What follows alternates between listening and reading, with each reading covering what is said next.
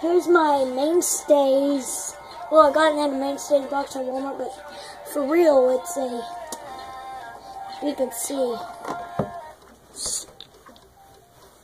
hang on, Sterling and Noble Company N09 beige wall clock. It's gold tone with white case. This clock is just a quartz clock. Here's the back of it. Really unique. Nice clock. The back of the clock. So, eh, it does work fine. Keeps absolutely perfect time. So there. Just wanted to make a very short video of it.